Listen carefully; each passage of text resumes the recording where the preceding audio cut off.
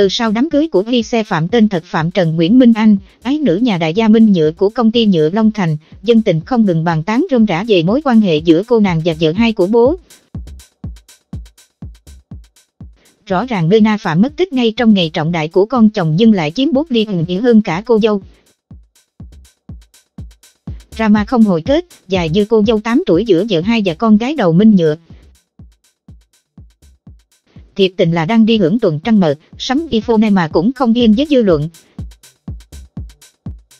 Trên trang cá nhân của mình, Vi Xe nhiều lần xin phép từ chối khi nhắc đến cái tên nhạy cảm này. Dẫu vậy thì tầm một ngày đổ lại đây, chẳng biết vô tình hay cố ý mà nàng Riêu Kiết sinh năm 1999 để lộ ra phát ngôn khá nhạy cảm.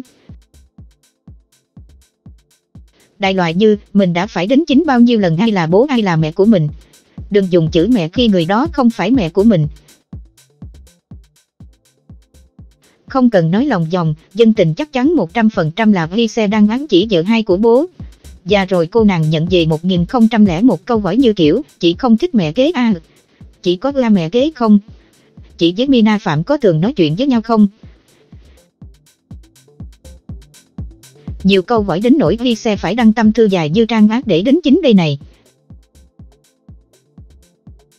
Theo đó, cô bạn cho biết mẹ thì cô chỉ có một, còn người mà ai cũng biết là ai kia thì cô bạn chỉ gọi bằng gì mà thôi.